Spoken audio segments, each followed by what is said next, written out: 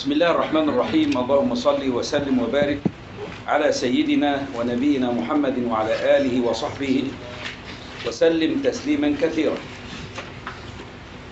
اللهم لا علم لنا إلا ما علمتنا إنك أنت العليم الحكيم ولا فهم لنا إلا ما فهمتنا إنك أنت الواسع الكريم نسأل الله سبحانه وتعالى أن يفهمنا وأن يعلمنا وأن يفتح علينا فتوح العارفين إنه على كل شيء قدير وبالإجابة جدير. وهو سبحانه وتعالى حسبنا ونعم الوكيل. يقول وبالله التوفيق. قال الإمام أبو شجاع رضي الله تعالى عنه وأرضاه ونفعنا بعلومه في الدارين آمين. في متنه المشهور المعروف بغاية الاختصار. قال الحمد لله. وتكلمنا في المرة السابقة عن أركان الحمد. وقلنا بأنها خمسة أركان. حامد ومحمود ومحمود محمود به ومحمود عليه وصيغة وفصلنا الأمر فيها تفصيلا. نحمد الله سبحانه وتعالى أن وفقنا إلى ذلك. ثم انتهينا إلى تعريف الحمد لغة ولم نبدأ فيه واليوم نبدأ في تعريف الحمد في اللغة. ثم بعد ذلك نتكلم على الحمد في الاصطلاح. ثم بعد ذلك ننطلق نكمل بقية المقدمة. والعلم عادة يحتاج إلى صبر ويحتاج إلى مصابرة ومجاهدة. والسطحية أسهل شيء ولكننا لا نجيدها. والسهولة واليسر والسرعة في الكتاب وإنهاؤه بطريقة يعني مختصرة كل يجيده ولكن لا نجيده. لكننا نريد أن نعطي كل شيء حقه مع عدم الإخلال بحالة المبتدئين ومع عدم الإخلال بمقصد الكتاب.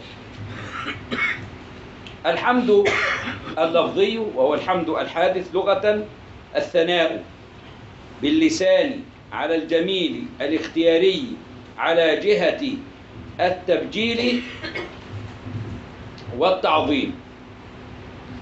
سواء تعلق بالفضائل أو تعلق بالفواضل. سواء تعلق بالفضائل أو تعلق بالفواضل. لغة الثناء أي الذكر الجميل عند بعضهم ومطلق الذكر عند بعض آخر.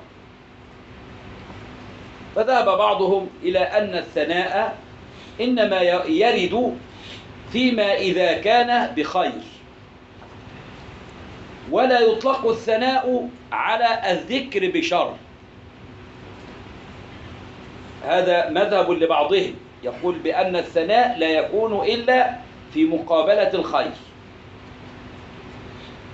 وبعضهم يقول لا هو في مقابلة الخير وفي مقابلة الشر. واستعمل في ذلك حديث الجنازة عندما قال النبي صلى الله عليه وسلم من أثنيتم عليه خيرا فهو خير ومن أثنيتم عليه شرا فهو كذلك. فأطلق الثناء في مقابلة الخير وأطلق الثناء في مقابلة الشر. فهذا المستدل يقول بأن الثناء يطلق ويستعمل في الأمرين معا والقائل بذلك هو سلطان العلماء العز. والقائل بأن الثناء إنما يستعمل في الخير هو جمهور العلماء. وأيا كان الأمر فالأمر سهل وهين. الثناء أي مطلق الذكر أو الذكر بخير. والذكر لا يكون إلا باللسان. فذكر اللسان بعد ذلك كما في التعريف الوارد في الكتب إنما هو لبيان الواقع. يبقى الثناء يعني الذكر بخير أو مطلق الذكر باللسان. فقولنا بعد ذلك باللسان هذا قيد لبيان الواقع. طب وما المراد باللسان هنا؟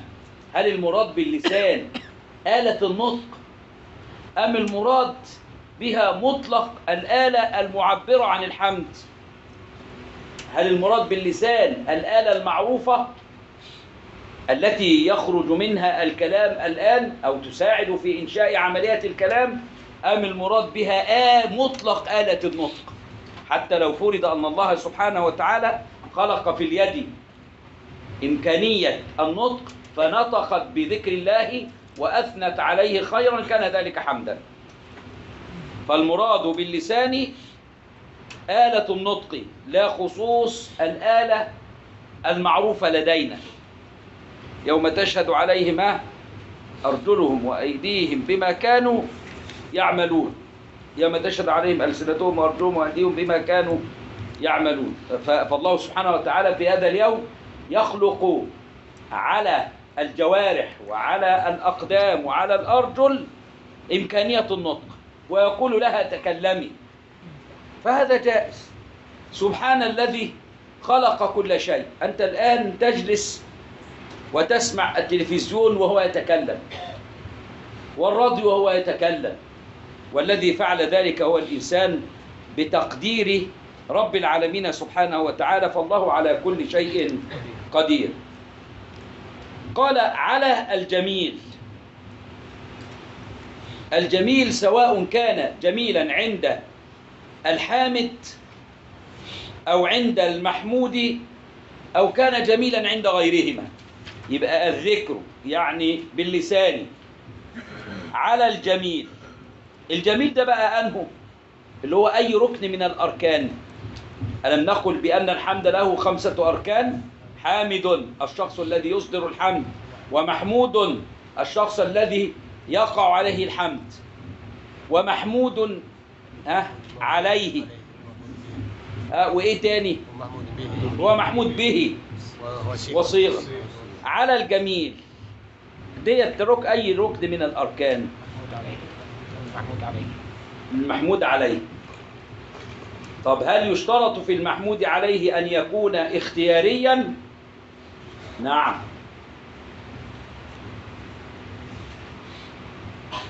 فإذا أكرمك الشيخ خيري زي أخونا كده أكرمني ووضع لي التفاح في الكوب فأقول له جزاك الله خيرا. هذه الكلمة التي هي جزاك الله خيرا حمد. لماذا؟ لأنها ذكر باللسان. على الجميل. الجميل أنه يعني وضع لي التفاح في في الكوب. طب وضع التفاح في الكوب ده أليس هذا أمر اختياري؟ نعم أمر اختياري. يبقى الجميل لابد وأن يكون اختياريا يعني إيه اختياري؟ يعني داخل تحت القدرة أو هو يعني ناشئ مما فيه اختياري على كلام طويل بين العلماء. ولذلك قالوا اختياري حقيقة أو اختياري حكما. ده فعل وضع الكوب طب ربنا سبحانه وتعالى تحمده على ذاته. أليس كذلك؟ طيب ذاته اختيارية لكنها منشأ لأفعال اختيارية. فالاختيار هنا إن كان هو المحمود عليه يبقى إما أن يكون اختياري في الحقيقة أو اختياري في الحكم. فحمدك على الأفعال الاختيارية هذا لا بأس به. طب وحمدك على ذات الله؟ وحمدك على صفاته؟ اختيارية ليست اختيارية. ولذلك قالوا الاختيار حقيقة أو حكما لكن الذات يصدر منها الأفعال وهذه الأفعال اختيارية الخلق والرزق إلى آخره. ولذلك قال علماؤنا ليدخل الحمد على صفاته الذاتية فإنها اختيارية باعتبار متعلقاتها باعتبار أنها يصدر منها المقدورات والمسموعات والعطاء والرزق وهكذا. على جهة التبجيل يعني على طريقة وعلى سبيل هو التبجيل. والتبجيل هو التعظيم والتعظيم هو التبجيل. فلا يعني يتأتى أنك تثني على أحد خيرا ثم بعد ذلك تضربه لأن هذا لا يكون ثناء. ده إهانة. ينبغي أن يكون الثناء صادرا. باللسان على الجميل الاختياري مصحوبا بالتبجيل. ما تدلوش يعني تفاحة شكرا على ما قدم إليك ثم بعد ذلك تضربه على قفاه. لأن هذا ليس على سبيل التبجيل وإنما على سبيل بعبارة المصريين على سبيل الاستعباط. على سبيل قال سواء تعلق هذا الجميل بالفضائل وهي النعم القاصرة أم بالفواضل وهي النعم المتعدية؟ إيه بقى النعم القاصرة والنعم المتعدية؟ الفضائل متعلقة بالنعم القصيرة يعني إيه النعم القصيرة هي التي يتوقف هي التي لا يتوقف لا يتوقف الاتصاف بها على تعدي أثرها إلى الغير. كالعلم يتصف به الإنسان وإن لم يعلم أحدا شيئا. قاعد بيقرأ وبيتعلم وفي محراب العلم حصل له العلم وحصلت له المعرفة ولكن مع ذلك لم يعلم أحد.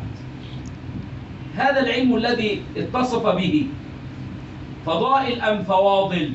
فضائل لماذا؟ لأنه لا يتوقف حصوله على تعدي الأثر إلى الغير ولذلك هو تعلم ودرس ولكنه لم يعلم. قال والفواضل بالعكس. فاضل زي إيه؟ لا يوصف الإنسان بها حتى يتعدي أثرها إلى الغير ولذلك لا يوصف الإنسان بالكرم حتى يتعدى الكرم إلى الغير منين أعرف إنك كريم؟ من أين أصفك بالكرم؟ إلا بعد أن أرى منك عطاء بعد أن أرى منك اخراجا لما في جيبك وإطعاما للطعام وإكراما للضيف ووقوفا وإلى آخره. فالفواضل لا بد من حصول تعدي الأثر إلى الغير حتى تحصل للإنسان كالكرم. هل يسمى الإنسان كريم إلا بعد أن يعني يطعم الناس ويقوم على خدمتهم؟ لا. طب الشجاعة. قالوا أيضا الشجاعة كذلك. من الفواضل. لماذا؟ لأنه لا يسمى شجاعا حتى يمتحن بالشدائد.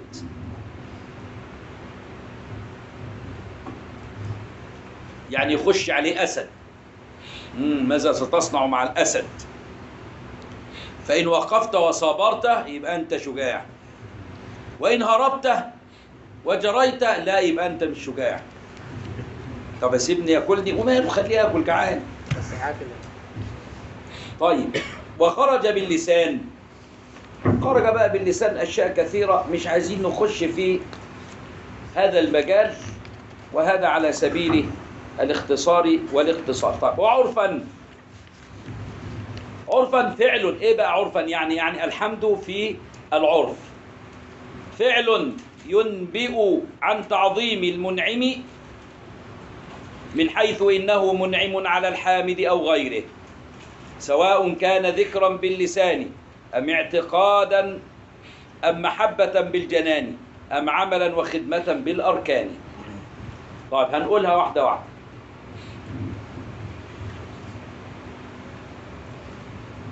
فعل فعل يشمل الأفعال التي تصدر من الإنسان سواء كان فعل اللسان بحركته ونطقه بالحمد أو باليد والجارحه أو بالقدم أو بالقلب وهكذا. فالفعل هنا يقصد به كل ما يصدر من الإنسان. الفعل هنا المراد به الشامل لأفعال الجوارح وأفعال القلب. ينبئ يعني يظهر ويدل عن تعظيم المنعم. المنعم يعني المعطي الذي تفضل كأخينا الآن أعطى ووضع التفاح في الكوب. فأعطيت له هذا القلم. مثلا يعني مش حقيقة ما تقبلوها فأعطيت له هذا القلم والقلم ده دلوقتي بقى غالي يعني. وأنا أحب الأقلام. أعطيت له هذا هذا القلم.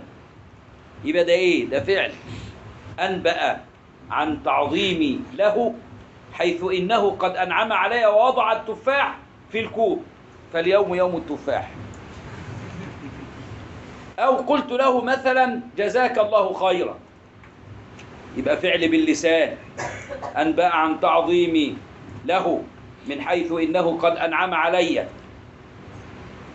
أو إن هو وضع التفاح لأخونا خيري أو أخونا خيري فأعطيته القلم. لماذا؟ تعظيما وتوقيرا وتقديرا لأنه قد أنعم على إخوتي في الله. فسواء أنعم علي أو أنعم على غيري الأمر لا يختلف. إنه منعم على الحامد الذي صدر منه العطية أو أنعم على الغير. سواء كان ذكرا سواء ذكرت هذا الحامد الذي أنعم علي أو على غيري بلساني ذكرا حسنا حسنا أم اعتقدت أنه رجل صالح؟ هو وضع أكرم هذا أخي وأكرم من بجواري فاعتقدت أنه رجل صالح وأنه رجل طيب. يبقى ده إيه؟ ده برضك حمد عرفي لأنه فعل بالقلب أنبأ عن تعظيم المنعم من حيث إنه قد أنعم على إخوتي في الله. أم أنني بعد ذلك يعني ساعدته في دراسته بسبب أنه خدم الناس هذا أيضا نوع من أنواع الحمد. طيب مسألة سهلة جدا جدا وبسيطة. يبقى الحمد عرفا يا مشايخ فعل ينبئ عن تعظيم المنعم من حيث إنه منعم على الحامد وغيره. سواء كان هذا الفعل حاصل باللسان أو حاصل بالجوارح أو حاصل بالقلب. سهلة خالص. ثم بعد ذلك قال رب الحمد لله رب. دي بقى شيء لطيف قوي في رب. قالوا رب أصله رابب. رابب يعني اسم فاعل. إيه اللي حصل؟ حصل إن الألف حذفت. فأصبح رب ربب. طيب ما بتتنطقش كده في اللغة. وتقابل حرفان أحدهما ساكن والآخر متحرك فادغم الساكن في المتحرك فأصبح رب. أصلها إيه؟ رابب على أنها اسم فاعل. وممكن ما تكونش كمان اسم فاعل. ده إحنا بنفكر جوه إيه؟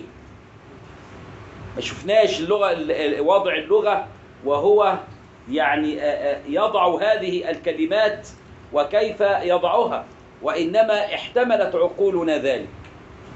وتصورت هذه الحالة الأولى لعملية وضع اللغة. ويصح أن يكون رب صفة مشبهة. وإذا كان صفة مشبهة لا حذف حينئذ. صفة مشبهة يعني إيه؟ يعني هو موصوف بالتربية والتربية ملازمة له. لا تزول عنه أبدا لأن الصفة المشبهة لا تزول عن موصوفها. وقالوا عنها صفة مشبهة لماذا؟ لأنها شبيهة باسم الفاعل. لكن الفرق بينها وبين اسم الفاعل أنها لازمة لموصوفها وأن اسم الفاعل يأتي ويذهب. مالك يوم الدين. ملك يوم الدين. ملك يوم الدين صفة مشبهة. فالمالكية له سبحانه وتعالى لا تزول عنه أبدا. وأما المالك في غير الله يتصور فيه الإزالة. النهارده ممكن يملك ويملك وبعد بكرة ما يملكش.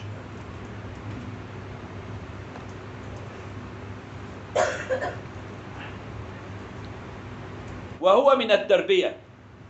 رب من التربية. والتربية معناها أن تأخذ الشيء على مراحل.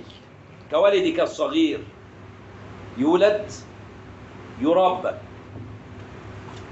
بالطعام الشراب شيئا فشيئا فشيئا حتى يبلغ إلى مرحلة يعتمد فيها على نفسه. يبقى التربية أن أن تبلغ الشيء إلى حالة فحالة فحالة إلى أن ينضج.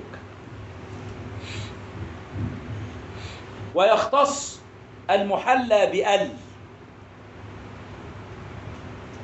بالله سبحانه وتعالى.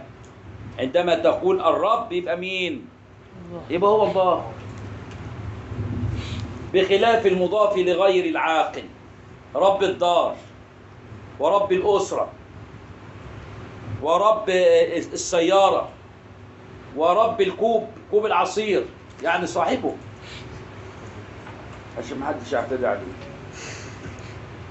قال النبي صلى الله عليه وسلم لا يقل أحدكم ربي بل سيدي ومولاي. أي لا يقل أحدكم على غير الله تعالى ربي بل يقول سيدي ومولاي. ولا يرد قول سيدنا يوسف إنه ربي أحسن مثواي. يعني الملك لأن هذا كان شريعة لسيدنا يوسف عليه الصلاة والسلام. ومن معاني الرب على وجه السرعة هكذا أنه المالك لما يربيه. فهو سبحانه وتعالى مالك لنا لأنه هو الذي ربانا وأنشأنا وخلقنا إلى آخر ما تعرفون. والمسألة سهلة. العالمين أصله من العلامة. لأنه ما من نوع من العالم إلا وفيه علامة على وجود خالقه العالمين من العلامة فيه معنى الإشارة التنبيه إلى الأصل.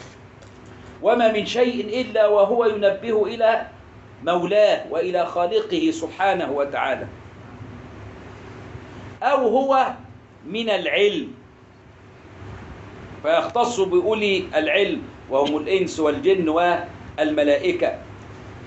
طيب خلصنا من العالمين. يبقى الحمد لله رب العالمين. وصلى وصلى الله. آه الصلاة. الصلاة من الله رحمة مقرونة بالتعظيم. يبقى صلى الله يعني رحم نبيه رحمة تشتمل على تعظيم معها تعظيم معها توقير لنبيه صلى الله عليه وآله وسلم. والصلاة من الملائكة الاستغفار. إن الله وملائكته يصلون على النبي. يا أيها الذين آمنوا صلوا. عليه وسلموا تسليما فالصلاة من الله رحمة ومعها تعظيم وتوقير وتبجيل لمن لمن يرحم. ومن الملائكة استغفار. ومن غير الملائكة سواء كان يعني إنس جن حيوانات جمادات تضرع ودعاء. طيب إيه بقى العلاقة ما بين المعاني دي كلها؟ قالوا العلاقة بين هذه المعاني بأسرها هو الاشتراك اللفظي.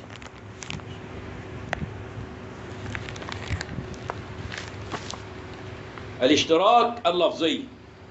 يعني إيه الاشتراك اللفظي؟ الاشتراك اللفظي عبارة عن ما اتحد لفظه وتعدد. معناه وتعدد وضعه. فاهمين ولا مش فاهمين؟ سهلة خالص أضرب لكم مثال. لفظة عين. موضوعة لمعنى العين الباصرة. بوضع مستقل. وموضوعة للذهب والفضة بوضع مستقل. والمعنى في الأول يختلف عن المعنى في الثاني. موضوعة للبئر بوضع مستقل. فالمشترك اللفظي. العلاقة إيه؟ إيه هو بقى المشترك اللفظي؟ لفظ واحد. تحته معاني متعددة بأوضاع متعددة. تقول ما اتحد لفظه وتعدد معناه وتعدد وضعه. بمعنى أن لفظ العين موضوعة بوضع مستقل للعين الباصرة. وموضوعة بوضع مستقل للبئر وموضوعة وهكذا. فالصلاة موضوعة بوضع مستقل للرحمة مع التعظيم وموضوعة بوضع مستقل للاستغفار وموضوعة بوضع مستقل للتضرع والدعاء. فيبقى العلاقة ما بين المعاني دي كلها إيه؟ إن كلها داخلة تحت المشترك اللفظي.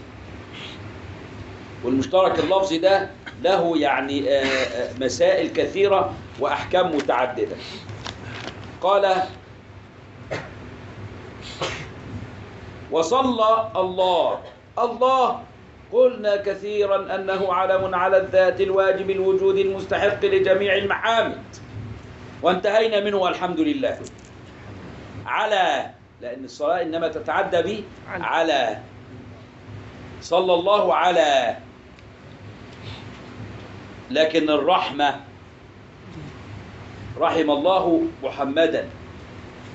لما تتعداش بعلى لكن الصلاة تتعدى بعلى صلى الله على سيدنا. السيد من ساد في قومه. يعني من وجهاء القوم من عالية الشعب. أو من كثر من كثر سواده. سواده يعني إيه؟ يعني جيشه وأتباعه. وسيدنا النبي عليه الصلاة والسلام اجتمعت فيه كل هذه الخصال ووردت عليه كل هذه المعاني.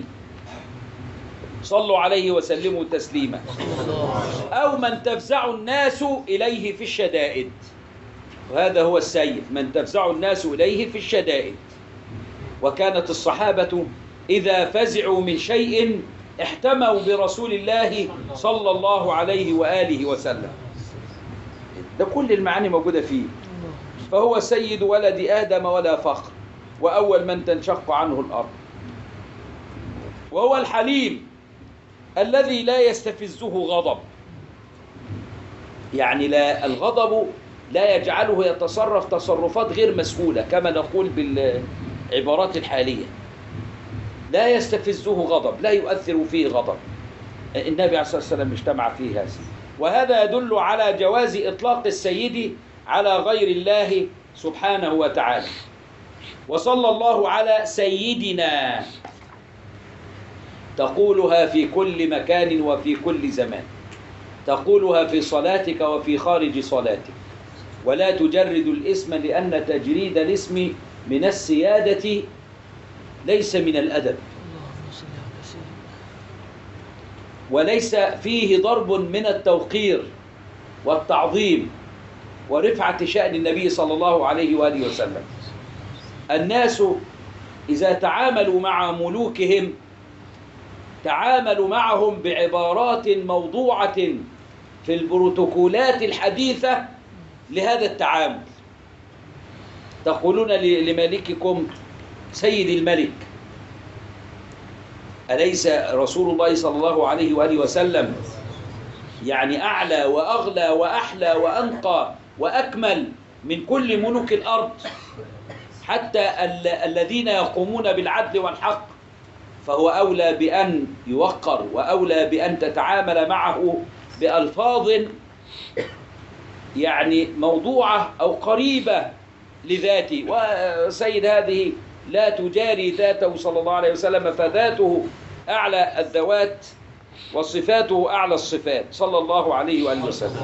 وقال علماؤنا يسن التسمية بمحمد محبة في نبينا محمد صلى الله عليه وآله وسلم. فمن سمى ولده بذلك حبا فيه أثابه الله على حبه. سمى محمد النبوي وخالد و- وأحمد النبوي كله كده نبوي في نبوي حبا في رسول الله. قال محمد النبي. وآثر التعبير بالنبي على الرسول.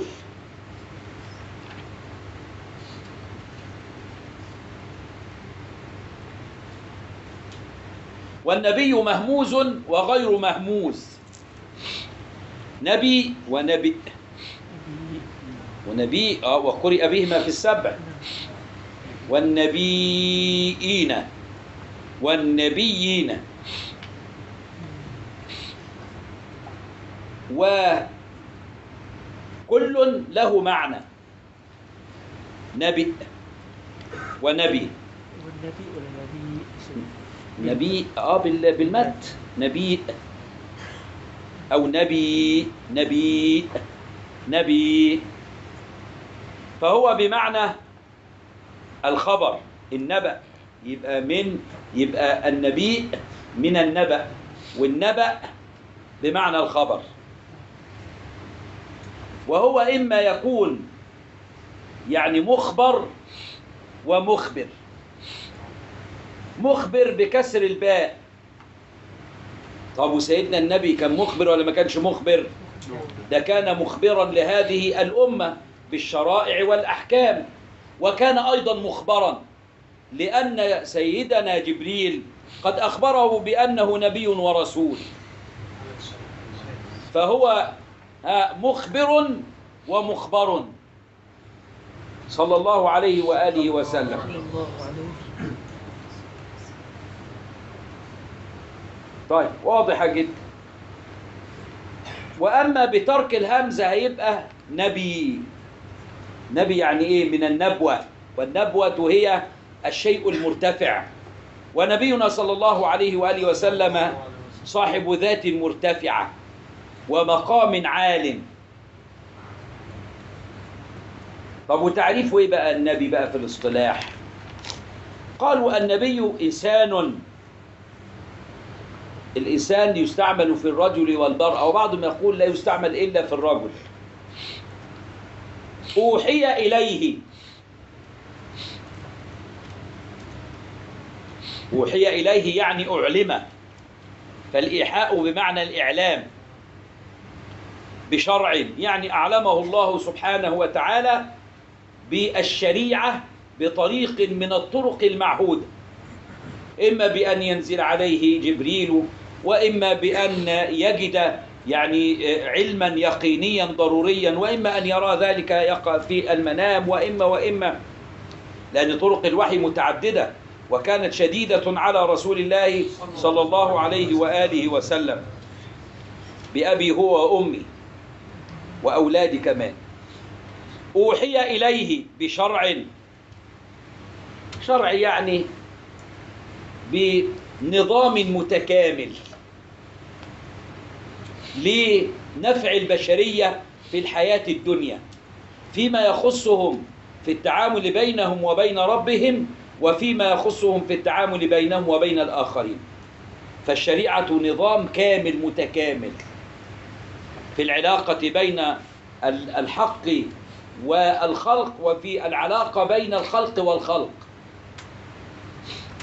يعمل به في نفسه يعني أعلم بشرع وبنظام متكامل حتى يعمل به في نفسه.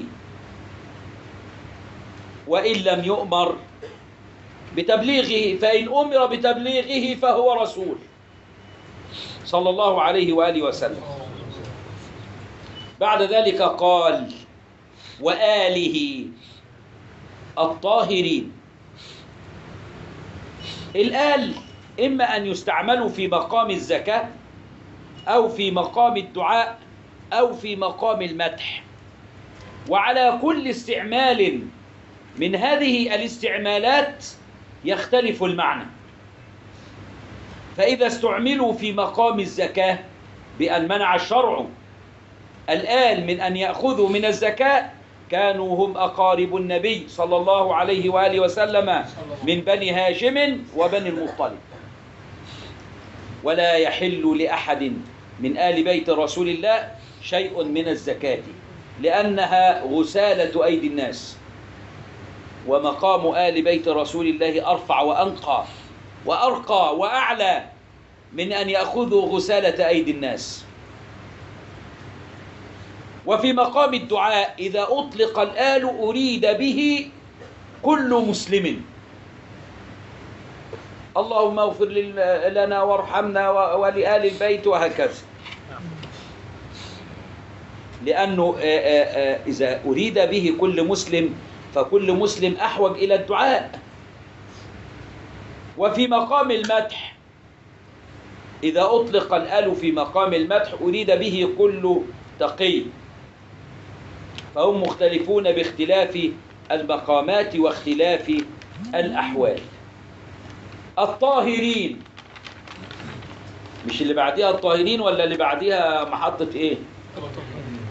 الطاهرين. الطاهرين. جمع طاهر وطاهر ده اسم فاعل يعني صدرت منه الطهارة. أي الخالصين من النقائص. آل بيت سيدنا رسول الله خلصوا من النقائص. سواء النقائص الحسية أو النقائص المعنوية فهم مرتفعون عن كل سفاسف الأمور. هذا شأنهم وهذا حالهم. قال بعد ذلك وآله الطاهرين. ثم قال بعد ذلك وصحابته. ها؟ عندك حاجة مختلفة؟ لا وصحابته أجمعين. طب ما لسه هو في الصحابة بس واحدة واحدة عليا ما إحنا ممكن نقول لك والصحابة أجمعين وخلاص كده نقلب. عايزين نقلب؟ بالظبط في خمس ست أشهر اخلص ثلاث أشهر اخلص لكم الكلام ده. بس واديكم كمان إجازات فيها.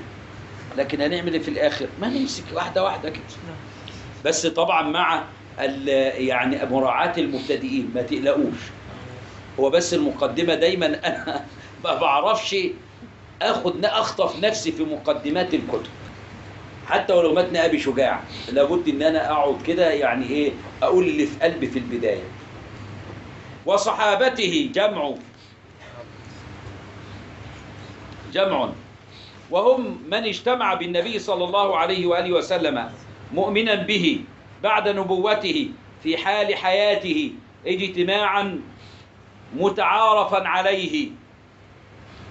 بأن يكون على الأرض على العادة بخلاف ما كان في السماء وما كان بين السماء والأرض. يبقى هم مين؟ من اجتمع. يبقى كل من اجتمع بالنبي صلى الله عليه وآله وسلم. سواء أبصره أو لم يبصره. وسواء رآه رسول الله صلى الله عليه وسلم أو لم يره. فكل من اجتمع يبقى محض الاجتماع. مؤمنا يعني اجتمع هذا الرجل مع النبي صلى الله عليه وسلم وكان مؤمنا برسالة ونبوة نبينا صلى الله عليه وآله وسلم ومقرا بها في حال حياة نبينا صلى الله عليه وآله وسلم. حتى يخرج ما كان بعد الانتقال.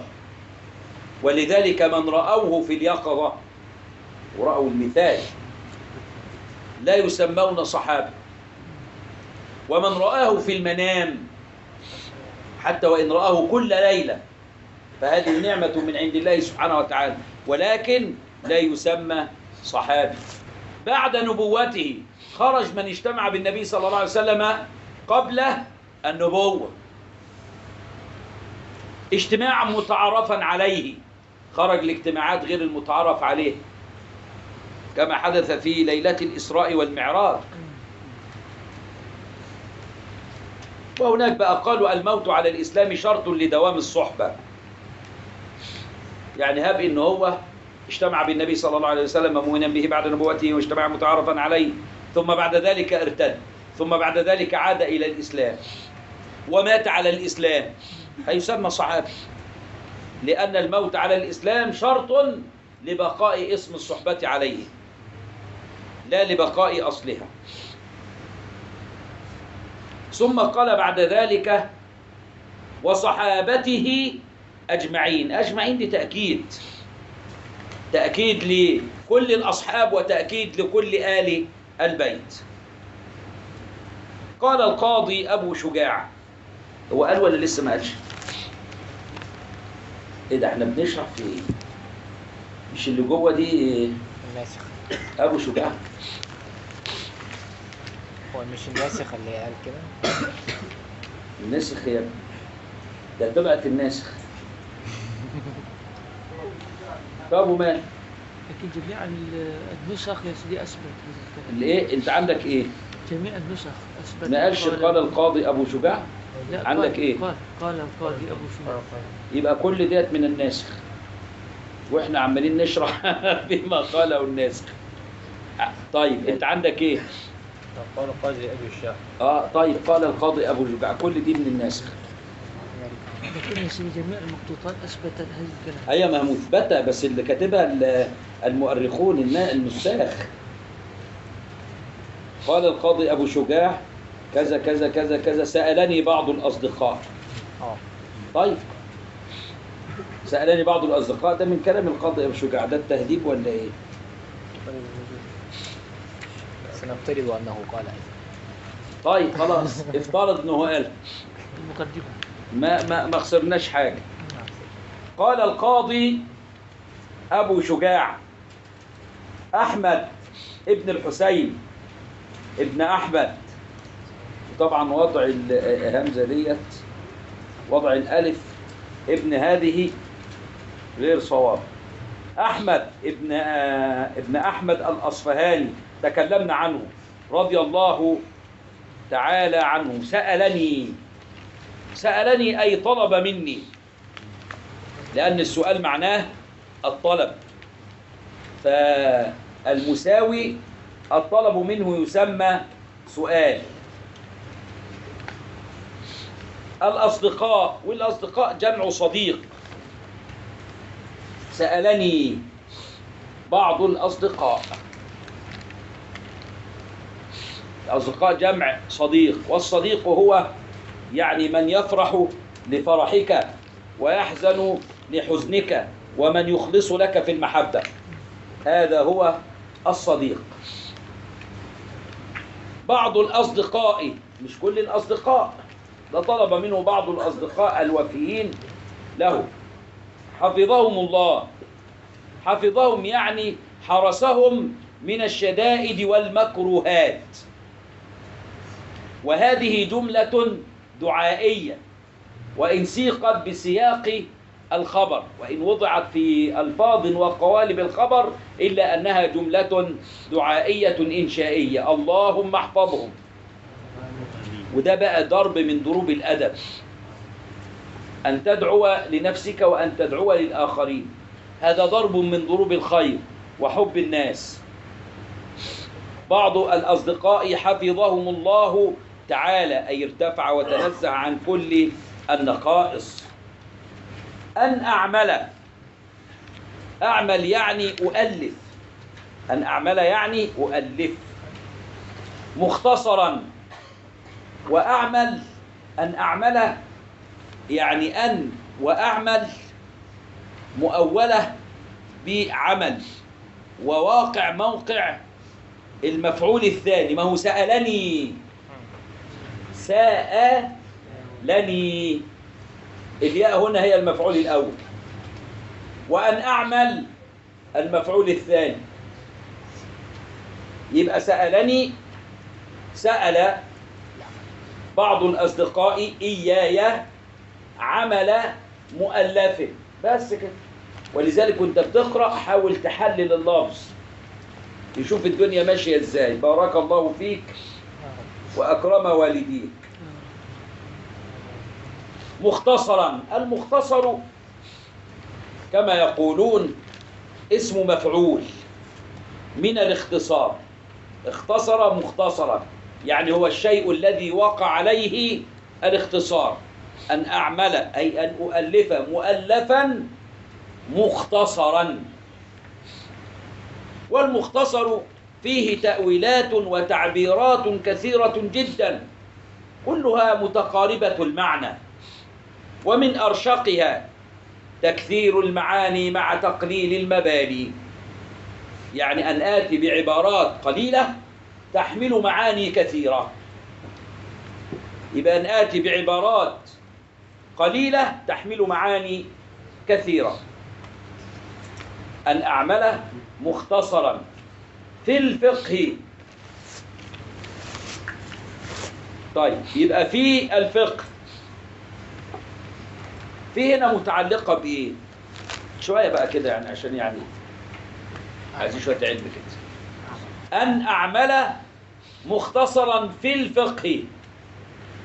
يعني أن أعمل في الفقه أو مختصرا في الفقه. يبقى آه، كأننا نقول بأن في الفقه تنازعها عاملان. العامل الأول أعمل في الفقه أن يعني أعمل بمعنى أؤلف. والثاني أختصر في الفقه. فتنازعها عاملان. آتوني أفرغ عليه قطرا. فآتوني أفرغ عليه قطرا. قطرا هذا من قبيل الإيه؟ التنازع. يتقدم عاملين ويتأخر معمول. كل يستدعي ويطلب هذا المعمول. يبقى ده بيسمى يا مشايخ تنازع. تنازع يعني في نوع من أنواع الاختلاف والشجار على شيء. هذا يطلبه وهذا يطلبه. فده بيسموه إيه؟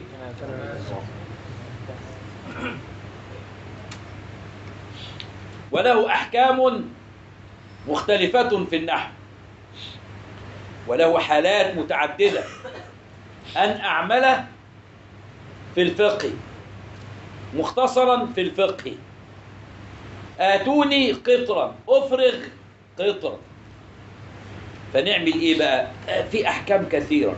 قالوا إما إن إحنا نجعل أفرغ قطرا يعني قطرا هذه يأخذها العامل الثاني ونقدر في العامل الأول يعني قطر. وإما أن نقول بأن آتوني تأخذ قطرا المذكور وأفرغ يقدر فيها. احتمالات يقدر لها قطرا. والأصوب أن الثاني هو الذي يأخذ العامل والأول يقدر له عامل مثله. طيب كلام لطيف وكلام علم منيف. في الفقه في الفقه يبقى المؤلف كائن في الفقه حاصل في الفقه. طب وإيش هو الفقه؟ الفقه نقول بقى لأن ده خلاف ده. الفقه لغة اختلف العلماء فيه على ثلاث معاني. المعنى الأول أن الفقه مطلق الفهم سواء كان للأشياء الدقيقة أو للأشياء غير الدقيقة. تقول فقهت أن السماء فوقنا وأن الأرض تحتنا. هذا ضرب من ضروب الفقه مع أن فوقية السماء وتحتية الأرض من الأمور البديهية التي لا تحتاج إلى تأمل ولا إلى أي شيء. فقهت متن أبي شجاع. آه ده يبقى إيه أهو ده أيضا يطلق عليه فقه لأنه يحتاج إلى تأمل وإلى وإلى. فالفقه مطلق الفهم. وقيل فهم الأشياء الدقيقة. فلا يقال فقهت أن الأرض فوقنا وأن السماء تحتنا. ينفع الكلام ده؟ مش تصحوا معنا. فلا يقال أن السماء فوقنا ولا أن الأرض تحتنا لأن فوقية السماء وأرضية وتحتية الأرض لا تحتاج إلى ضرب من ضروب التأمل وإلى وإلى. فلا يستعمل في مقابلتها ولا يستعمل فيها الفقه. ولكن تقول فقهت متن أبي شجاع فقهت غاية المأمون فقهت آه، آه، آه، يعني شرح المحل على الورقات فقهت المنهاج. نعم لأن هذه أشياء يعني من شأنها أن تكون دقيقة وتحتاج إلى إعمال فكر وإلى تأمل وإلى وإلى.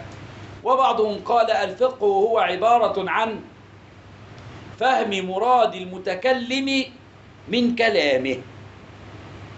فإذا أدركت ووصلت إلى مراد المتكلم وإلى مقصده من كلامه كان ما وصلت إليه مما يصدق عليه ويطلق عليه فقها يبقى إما أن يكون الفقه الفهم أو فهم الأشياء الدقيقة أو فهم مراد المتكلم من كلامه.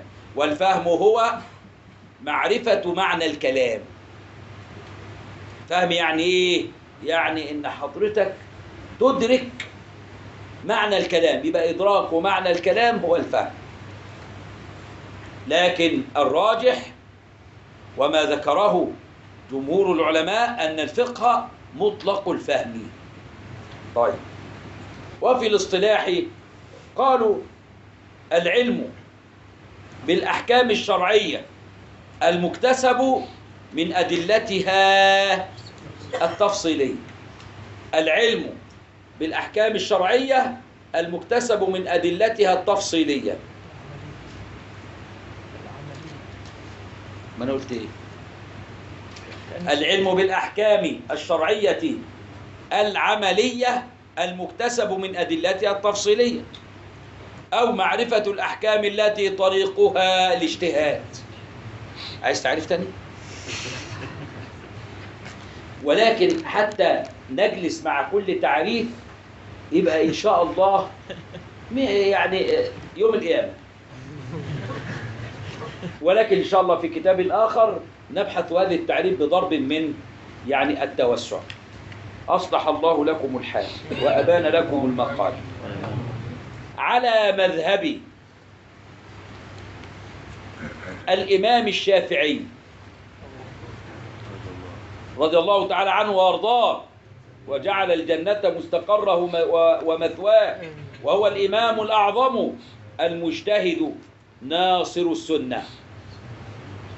ده كان من أهل الحديث ومن أهل الفقه ومن أهل التفسير ومن أهل اللغة ومن أهل ومن أهل فالشافعي حجة في كل فن. أنتم متعصبين قوي. والله دي الحقيقة. مش تعصب والله. الشافعي إمام في اللغة كان حجة في اللغة. لم يتوفر لأحد من الأئمة مثلما توفر للإمام الشافعي. فقد تبحر تبحرا شديدا في اللغة حتى أن جهابذة اللغة كانوا يصححون دواوينهم على الإمام الشافعي. وما الأصمعي من ذلك ببعيد. وكان الإمام الشافعي يعني عنده نقادة في اللغة. وكان عنده حسن فهم وحسن كتابة وحسن صياغة. والذي كتبه إليكم لو كتبه بالعربية الفصحى التي أخذها من البدو الأقحاح ما فهمها أحد.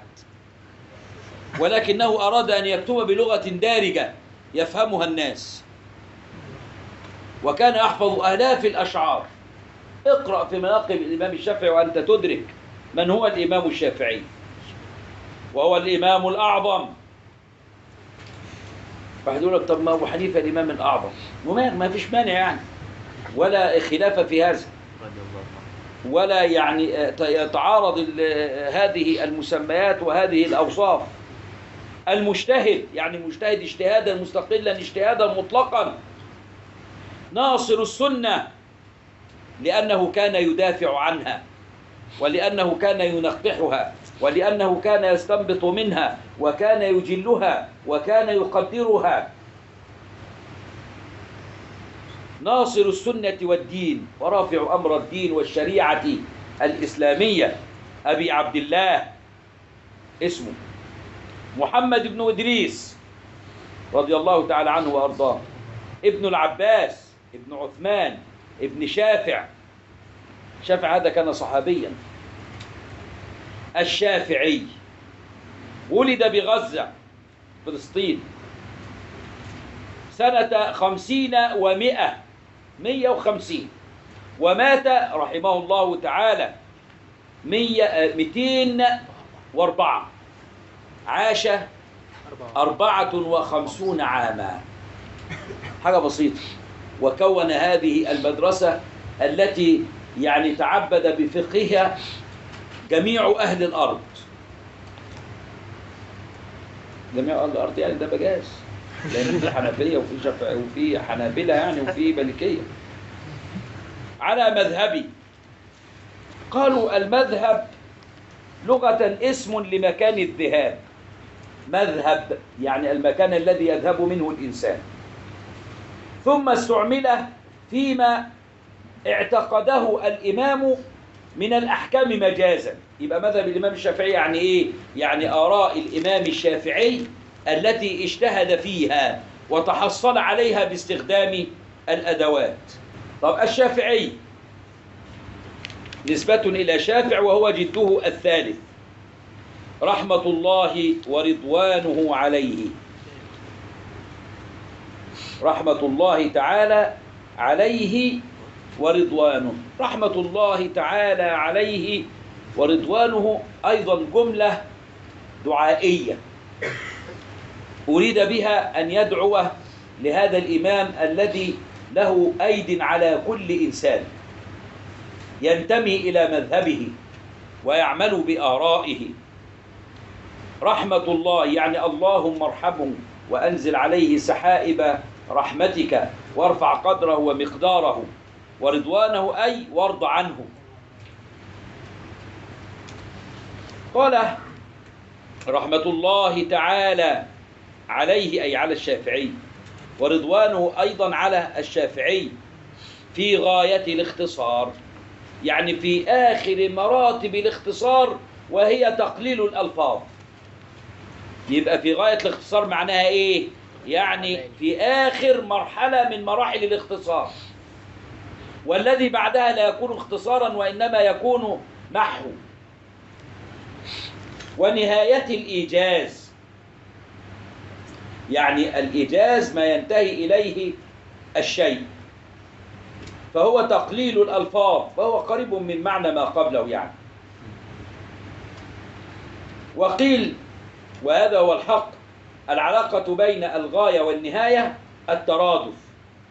لأن الغاية آخر الشيء والنهاية ما ينتهي إليه الشيء والاثنين واحد. آخر الشيء وما ينتهي إليه الشيء. ما الاثنين واحد يا مشايخ الإسلام والإيمان والإحسان؟ يقرب على المتعلم درسه. يقرب يعني يا مشايخ الإسلام أي يسهل تعلمه على المتعلم. يعني هذا الشرح هذا ال- المتن وهو متن أبي شجاع غاية الاختصار يسهل على مريد العلم وعلى طالبه أن يتعلم وليس المراد على المتعلم بالفعل على مريد التعلم. يعني هذا الكتاب يسهل على مريد التعلم التعلم. اقرأ في الكتاب كده لوحده هتلاقيه زي سلاسل الذهب مثل سلاسل الذهب. قال علماؤنا الت- ال- التوفيق المختص بالمتعلم ينحصر في أربعة أشياء. عشان طالب العلم يكون من أجل أن يكون طالب العلم طالبا موفقا لابد فيه من أربعة أشياء. ذكاء القريحة. يكون نبيه. اللي منكم مش نبيه يروح. مش يروح النهار لا يروح هناك. بلده لأنه إحنا بس كلكم نبهاء إن شاء الله. قول اللهم آمين. وطبيعة صحيحة. يبقى مستقيم. صاحب طبيعة مستقيمة. وعناية مليحة. يكون عنده همة وعناية بطلب العلم. مش يقول لك أصل النهارده يعني كان عندي صداع فما حضرتش الدرس. أصل أنا يعني جاني ضيف من من مش عارف منين فتركته من أجله الدرس. تبقى طالب علم خايب. ولن توفق. متى توفق؟ إذا كان عندك عناية ها مليحة عناية جيدة بطلب العلم حضور الدروس قراءة الاطلاع حفظ المعلومات السعي في تكوين الملكات. ما عندكش كده؟ يبقى أنت يعني بين رحمة أرض رب الأرض والسماوات. ومعلم ذو نصيحة. إذا أراد الله بطالب العلم توفيقا يرسل إليه معلم ها ينصحه دائما. ويشده إلى دروس العلم وإلى الاطلاع وإلى المذاكرة وإلى وإلى وإلى التعليم وهكذا. والحمد لله. ومعلم ذو نصيحة. بارك الله آمين. العيال اللي قالت أمين دي ربنا يكرمها آمين يا رب. والعيال اللي قالت برضك أمين بقلبها ربنا يكرمها واللي ما كانش معانا برضك ربنا يكرمها. وإذا جمع إذا جمع للمتعلم ثلاث خصال فقد تمت تمت النعمة على المعلم. يعني الكلام بسيط قوي إذا وجدت هذه الثلاثة ارتاح المعلم. مش هيتعب. أن يكون طالب العلم صاحب عقل. مبقاش خفيف وأن يكون طالب العلم مؤدبا. وأن يكون حسن الفهم. يعني يفهم الأشياء على مراد قائلها. أن يكون عاقلا مؤدبا. يعني مش طالب علم. يتعلم وبعد ذلك يظهر قلة الأدب ويظهر يعني التبرم من شيخه وعدم الاعتراف به. ورأينا من طلبة العلم أسوأ ما رأينا. الطالب تعلمه وتعطيه وتساعده في أن يعمل.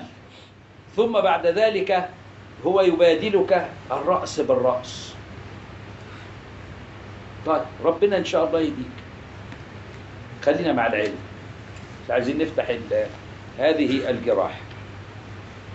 قال العقل والأدب وحسن الفهم.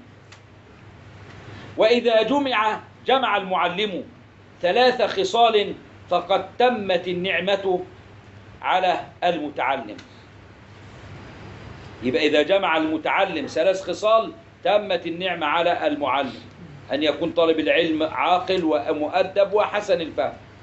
وإذا جمع المعلم ثلاث خصال فقد تمت النعمة على المتعلم. أن يكون صبورا يصبر على طالب العلم. مرة واثنين وثلاثة ويشرح لغاية أما ربنا ياخده. والتواضع أن يكون متواضعا مش متكبر على طالب العلم. بس في حاجة غريبة. أحيانا طالب العلم لا يحب إلا الشيخ المتكبر. والله ويبحث عنه. ولولا أننا نسجل ولولا أننا في هذا الجمع العظيم لأعطيناكم من الجزئيات ومن الأمثلة المنقحات ما يؤدي إلى تشييب الشعور إلى يعني ما شاء الله. الصبر والتواضع وحسن الخلق أن يكون المعلم إنسان حسن الخلق. اللهم اجعلني كذلك. ثم قال بعد ذلك ويسهل على المبتدي. حفظه. كل ديت من جملة ما سئل. كل هذه الأشياء من جملة المسؤول عنه. ويسهل على المبتدي حفظه. أي يتيسر على المبتدي أن يحفظ هذا الكتاب. والحفظ ضد النسيان. وليس الحفظ يعني مستعملا في معنى أن تحفظه من الإتلاف. ولكن الحفظ معناه إيه؟ إن أنا ذاكرتي أحفظه عن ظهر قلب. وأن أن أكون متذكرا له مستحضرا له. وأن أكثر فيه من التقسيمات. وهذا أيضا من جملة المسؤول. سئل أن يكثر فيه من التقسيمات. التقسيمات جمع تقسيمة. وهي إيه بقى التقسيم؟ عبارة عن ضم قيود إلى أمر مشترك ليحصل منها أقسام متعددة. أضرب لك مثال لطيف جدا.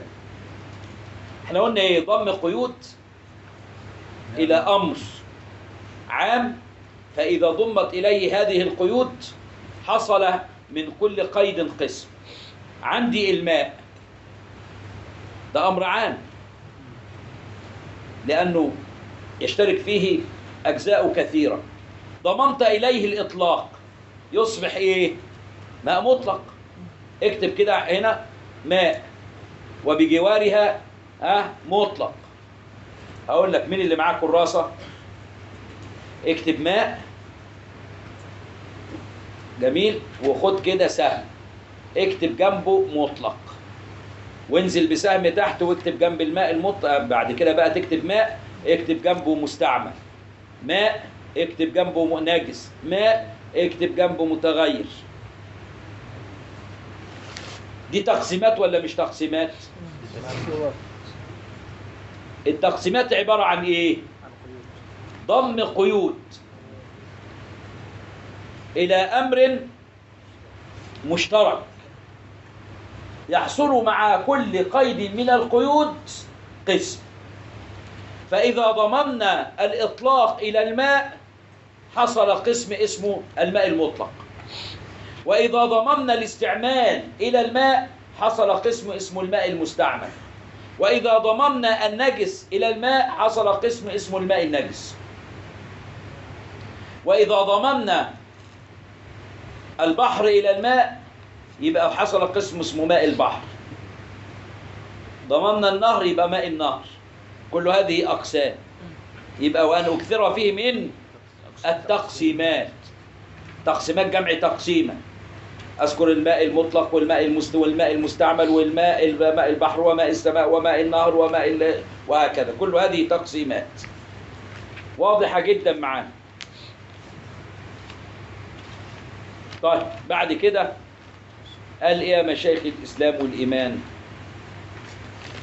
خلاص دي كده دي كده خلصت. الخصال الإيه؟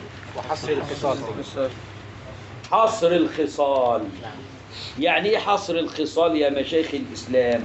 قال حصر الحصر معناه في اللغة هو جمع كل أفراد الشيء. ده معناه كده في اللغة. حصرت الشيء يعني جمعت كل أفراده. الحصر جمع أفراد الشيء بغير أن يخرج منها فرد. ده الحصر. طب وهو فعل هذا في الكتاب؟ لا. ولكن ليس هذا هو المعنى اللغوي ليس هو المراد والمستعمل في هذا الموضع. وأن أكثر فيه من التقسيمات وحصر الخصال. ما ال- ال- الذي سأله لم يسأله أن يجمع كل أفراد الشيء وإنما سأله معنى مجازي من الحصر وهو الضبط. يعني أن يذكر الأشياء بضوابطها. يقول لك مثلا وسنن الوضوء عشرة ويذكر منها شيئا. وهكذا. يبقى الضبط معناه إيه هنا؟ معناه مش حصر كل أفراد الشيء وإنما المراد منه أن يذكر الأشياء مضبوطة معدودة. هكذا قال الشراح والخصال جمع خصلة وهي الحالة إما أن تكون يعني موصوفة بالمدح وإما أن تكون موصوفة بالذم. تقول خصلة ها يعني مذمومة أو خصلة ممدوحة. وأن أكثر فيه من الخصال يعني من ذكر الأوصاف وهكذا. فأجبته. بعد كده إيه؟ فأجبته. والفاء هنا دي للإيه؟ للتعقيب. يبقى سألني فأجبته. طب وكيف أجابه؟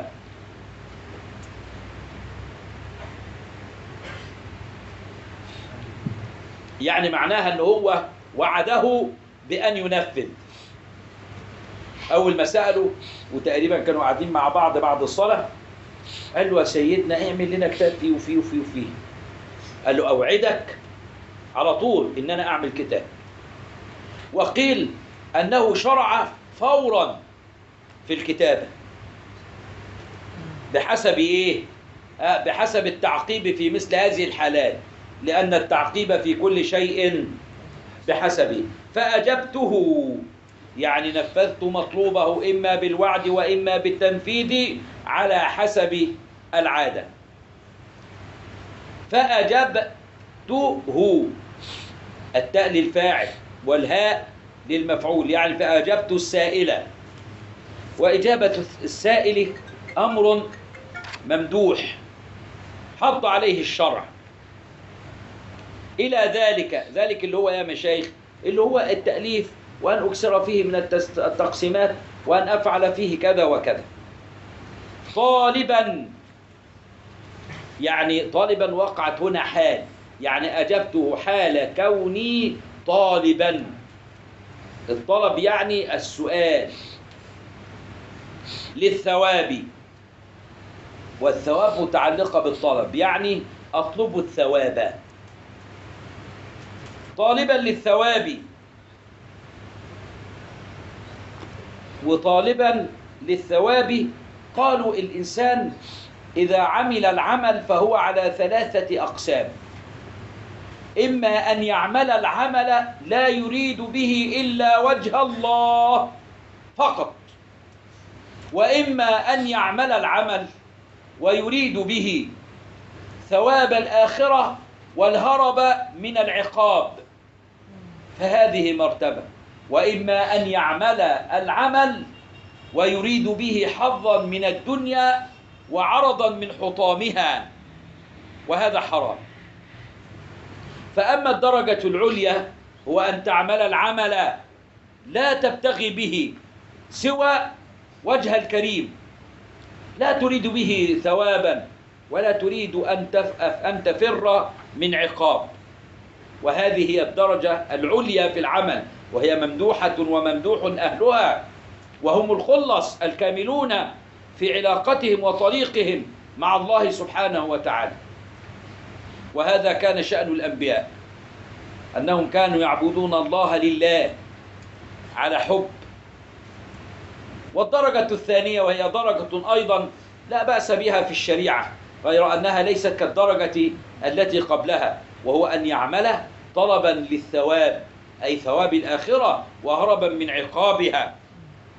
وهذا هو الذي نص عليه الشيخ هنا. ودي مقامات.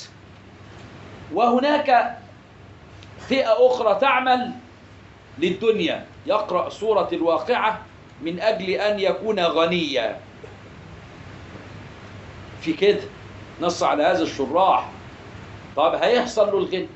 ولكن قرأ لغير وجه الله كالذي مثلا تعلم العلم ليقال عالم وقرأ القرآن ليقال قارئ فهؤلاء أول ومن جاهد كذلك ليقال مجاهد ويقال فيه إنه شجاع وجريء وهؤلاء أول ثلاثة تسعر بهم جهنم والعياذ بالله.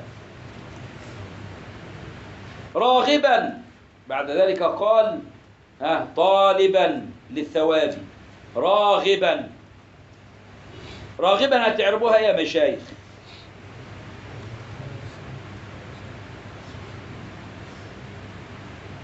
آه مين اللي معانا؟ حل من إيه؟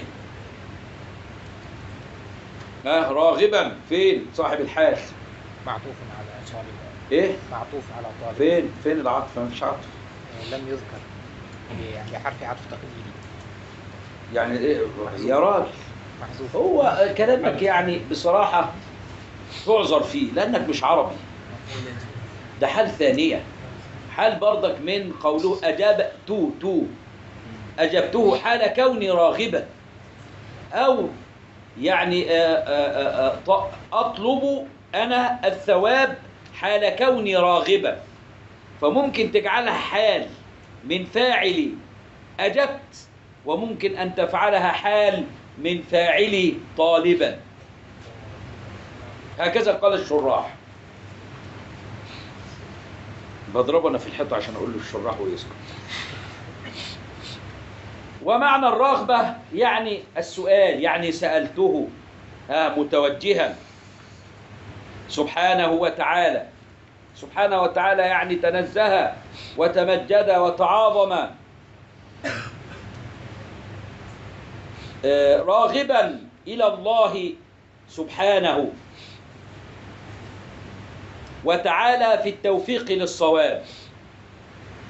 الصواب هنا المراد به مش الصواب المعلوم في علم العقيدة. الصواب المراد هو أن يصيب مذهب الإمام الشافعي كما عليه أصحاب الشافعي. والمراد به ما هو مذهب الشافعي في الواقع. وإن لم يكن رأي الشافعي هو المراد عند الله. لأن يعني المصيب واحد. يبقى طالبا آه للثواب. طالبا للإيه يا مشايخ؟ آه النوع. في التوفيق للصواب. وتعالى في التوفيق للصواب. التوفيق معناه إيه؟ معناه أن يوافق الصواب وأن يقابل الصواب. وليس المراد من التوفيق هنا هو خلق القدرة في العبد للطاعة. وتسهيل سبل الخير. يبقى التوفيق للصواب. التوفيق معناه في علم الكلام هو خلق القدرة في العبد على الطاعة وتسهيل سبل الخير له. لكنه لم يرد هنا هذا المعنى وإنما أراد من الإصابة هو الموافقة. يعني أن يوافق الصواب. وإيش هو الصواب؟ يعني الآراء التي هي في المذهب وما عليه الإمام الشافعي وإن لم مع ما عليه الإمام الشافعي هو الموافق لما عند الله سبحانه وتعالى. إنه على ما يشاء. قدير. إنه على ما يشاء قدير. ال- القدرة هنا معناها المشيئة هنا معناها الإرادة. وهي صفة وجودية. قائمة بذاته سبحانه وتعالى تخصص الممكن ببعض ما يجوز عليه كالوجود والعدم والبياض. هي دي المشيئة المشيئة اللي هي الإرادة. والإرادة صفة وجودية حتى يخرج الصفة العدمية لا تأخذه سنة ولا نوم.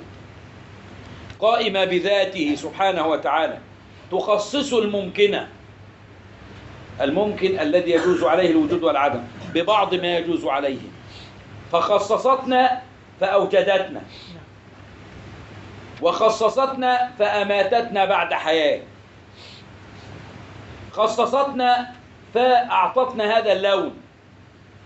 وهكذا. وقدير يعني آه، تام القدرة. لأن قدير فعيل من الصيغ التي توضع للمبالغة. والمبالغة هنا معناها إيه؟ معناها تمام القدرة. وبعباده لطيف خبير. العباد جمع عبد وهو إنسان سواء كان حرا أو كان رقيقا. والعبودية كما يقولون ترك الاختيار وعدم منازعة الأقدار والثقة بالفاعل المختار. ده عايزة ضربة عايزة شغل ليل نهار محتاجة إلى تربية. حتى تصل إلى درجة العبودية أنت محتاج إلى تربية. ولذلك شوف سيدنا عندما وصفه ربه قال إيه؟ سبحان الذي أسرى بعبده. فكرمه من جهتين. أسرى بعبده أنه وضعه في مقام العبودية وأضافها لنفسه سبحانه وتعالى. والعبودية هي ترك الاختيار. ألا يكون لك اختيار مع ما يجري عليك من أقدار مولاك سبحانه وتعالى. وعدم منازعة الأقدار يعني الرضا الرضا بالقلب رضا تام وكامل بكل ما يقع عليك. والثقة بالله والتوكل عليه والاعتماد عليه وتعلق القلب به لا بسواه. مين بقى اللي عبد؟ طيب. فعندما قال له سبحان الذي أسرى بعبده ده عبده اللي هو إيه؟ ده الصافي الكامل المكمل الذي ما تعلق قلبه إلا بالله والذي ما توكل إلا على الله والذي ما وثق في أحد إلا في الله والذي ما طرأ عليه من قدر إلا وكان قلبه بردا وسلاما لأقدار ربه سبحانه وتعالى وما نازع ربه سبحانه وتعالى في أي قدر يقع له وعليه وترك فعله واختياره والتدبير ألا تدبر. اللطيف الخبير اسمان من أسماء المولى سبحانه وتعالى. اللطيف العالم بخفيات الأمور ويلزم من العلم بخفيات الأمور أن يكون عالما كذلك بالأمور الظاهرة. سيدي ممكن التعريف ها؟ تعريف العبد والثقة بالله. طب ما أنا قلتها. أهي. ترك الاختيار وعدم منازعة الأقدار والثقة بالفاعل المختار. وده خط ده شوف خط حلو. محدش عارف يكتب ده خط. انتهينا من يعني المقدمة. ننطلق بعد ذلك في أحكام الفقه. قال كتاب الطهارة. كتاب الطهارة. كتاب الطهارة ده مضاف ومضاف إليه.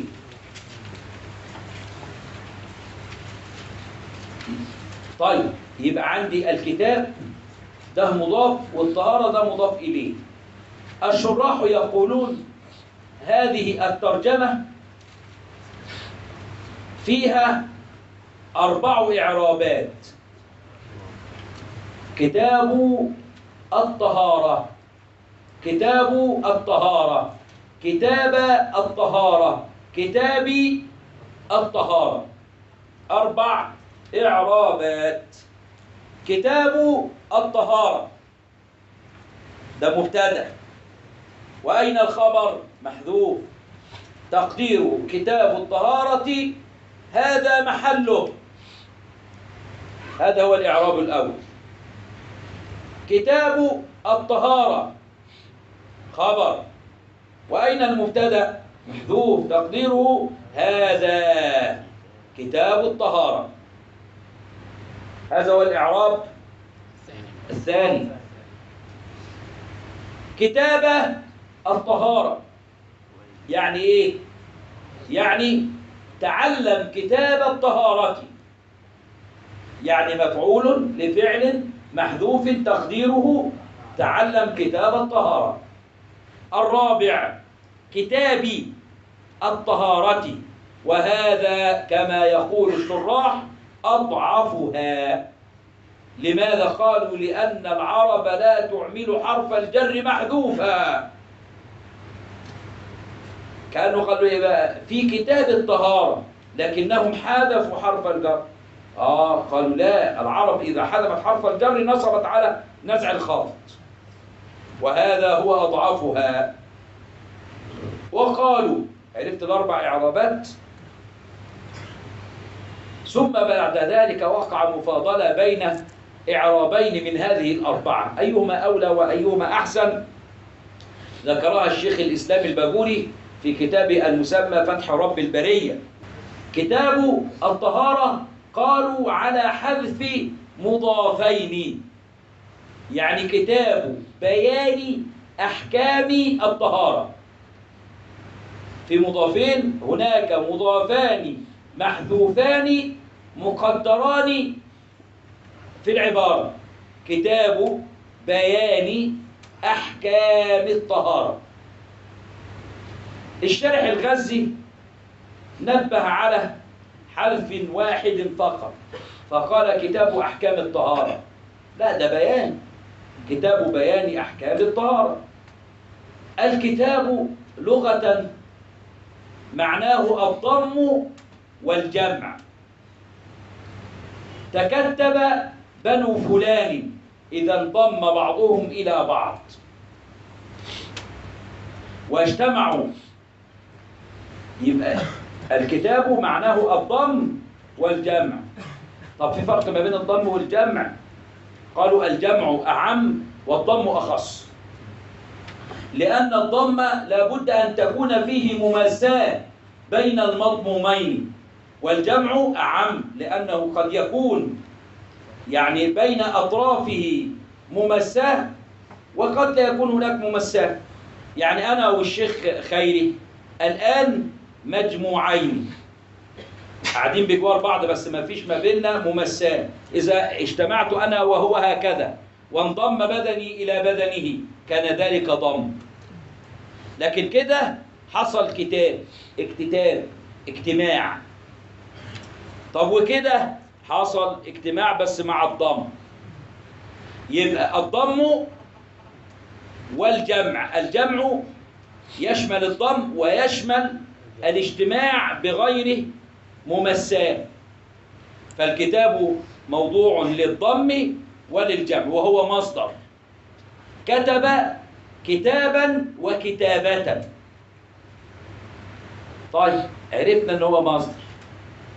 طب والطهارة قالوا الطهارة لها معنى لغوي ولها معنى ها؟ شرعي. الطهارة لغة معناها النظافة. النظافة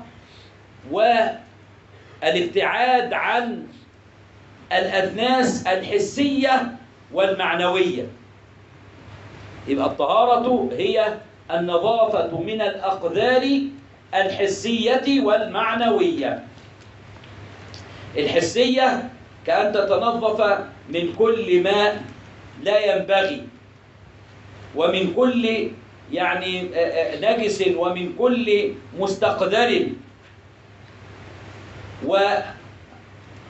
والطهارة أيضا تستعمل بمعنى النظافة من الأدناس المعنوية كالحقد والحسد والغل وهكذا. فالطهارة معناها النظافة من الأقدار حسية كانت أو معنوية. الحسية يعني كالدم والكل مستقدر والمعنوية يعني كل الصفات القبيحة النفسية. طيب. والطهارة شرعا كما يقول الشارح هنا فيها تفاسير كثيرة. ومعاني يعني مجملة. منها رفع الحدث وإزالة النجس. كما عرفها في المنهاج. الطهارة رفع الحدث وإزالة النجس. رفع الحدث. إيش هو الحدث؟ قالوا الحدث هو كل ما وجد بعد أن لم يكن لغة. وأما اصطلاحا فهو أمر اعتباري يمنع من صحة الصلاة حيث لا نرخص. أمر اعتباري يعني أمر اعتباري يعني أمر يعتق بعضهم يقول أمر يعتبره العقل. الحدث أمر اعتباري. يعني أمر يعتبره العقل ولا وجود له في الخارج. بعضهم بيقول هذا وبعضهم انتقد هذا التعريف لكن جعل اجعلنا على هذا لأنه ماشي على الشيخ البجول. قال أمر اعتباري. هذا الأمر الاعتباري قائم بالأعضاء. أنهي أعضاء؟ قالوا إذا كان في الحدث الأصغر فهو قائم بأعضاء الوضوء وإذا كان في الحدث الأكبر فهو قائم بكل البدن. يبقى أمر اعتباري قائم بالأعضاء يمنع صحة الصلاة. يمنع صحة الصلاة. هو الأمر الاعتباري اللي مانع ولا المنع حصل عنده. ده المنع حصل عنده. لأن المانع من الصلاة عند وجود الأمر الاعتباري هو المشرع هو الله. لكن أضافوا هنا المنع إلى السبب. يبقى هو أمر آه يعني شيء موجود. اعتبره العقل قائم بالأعضاء. قائم بأعضاء عقلا. تتصف به الأعضاء. مانع من صحة الصلاة. لو حضرتك كده أحدثت ثم بعد ذلك قمت وقلت الله أكبر. هل يعني هذا يحسب لك أو تنعقد صلاتك لا. لماذا؟ لأنك محدث. وليس هناك عذر يجعلك تقبل على الصلاة. مانع من صحة الصلاة. يمنع صحة الصلاة حيث لا مرخص. فإن وجد مرخص من المرخصات المعروفة المعهودة التي سنتكلم عليها بعد ذلك فإنه لا يمنع لوجود العذر. عدم الماء. كان مريضا مرضا يمنع من استعمال الماء. فإنه حينئذ له أن يعني يتيمم. لم يجد الماء ولم يجد التراب. كان كان مسكونا بمكان لا ماء فيه ولا تراب. فإنه يصلي على حاله. وحينئذ لم يمنعه الحدث من الصلاة لوجود العذر. يبقى أمر اعتباري. قائم بالأعضاء مانع من صحة الصلاة حيث لا مرخص. بعض يعني العلماء يقول هو ليس أمرا يعني اعتباريا بمعنى أنه معتبر في العقل فقط لا بل هو أمر موجود. وكان كبار الصالحين يرونه فكان سيدي علي الخواص يراه في المغطس. المغطس اللي هو إيه؟ المكان الذي كان يتوضأ فيه الناس. كان بيشاف عليه لون كده ولكن هذا يعني لبعضه. يبقى الطهارة هي رفع الحدث وإزالة النجس. والنجس بمعنى يعني النجاسة يعني وإزالة النجاسة. والنجاسة إما أن تكون حسية وإما أن تكون حكمية. فالنجاسة الحسية هي التي تدرك بالحواس. تدرك إما بالرؤية إما بالشم إما بالذوق إما باللمس. يعني بأحد الحواس المعهودة المعروفة وإما حكمية. بأن لم تدرك بأي حاسة من هذه الحواس. عندما يحصل أن تصطدم يدك مثلا على سبيل المثال بكلب مع توسط رطوبة بينكما. الكلب مبلول أو أنت مبلول.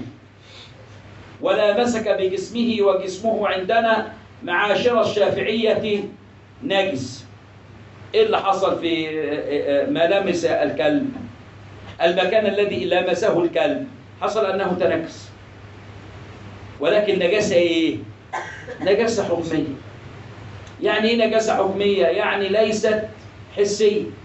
وليست مدركة بأحد الحواس المعهودة وإنما هي عبارة عن وصف أيضا قائم بالمحل مانع من صحة الصلاة حيث لا مرخص ويجب إزالتها على الصفة والطريقة التي سنقول عنها بعد ذلك. يبقى كتاب الطهارة.